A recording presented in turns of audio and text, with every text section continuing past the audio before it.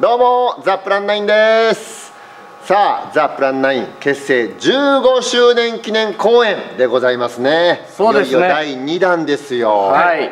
えージャックという公演なんですけれども、はい。8月の27、28土曜日日曜日でございます、はい。大阪の ABC ホールで上演いたします、はい。いや懐かしいですよジャック。懐かしい、ええ以前やったんですよね。2003年。そうですね。2003年の物語です。そうですね。はい、はいもう一度、まあ、今我々がこうね15周年ということでうん。演じ直すということですね。そうですね。見どころはどこでしょうかね、やっぱりジャックはい。というだけあって、はい。そのジャックですから。はい。はい。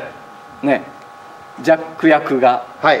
誰に変わってるのかああなるほどなるほど。配役がちょっと、はいそうですね、えはい。えでメンバーもねあの人数ちょっと3人になってますんで。そうなんですね。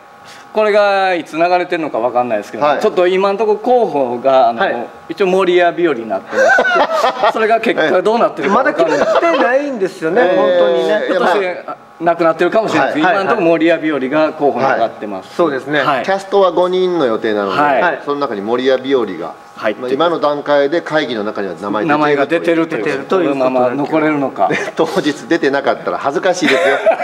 なんで言うんですかそんなこと。まだ決まってませんから。そうですね、ええ。えそうですね。まあ、ぜひお越しいただけえれば8月と思います、27、28でございますが、面白いですよ、ね。本当にこれ僕、本当にね好きな、好きなやつ。好きな話なんです。約9万はい。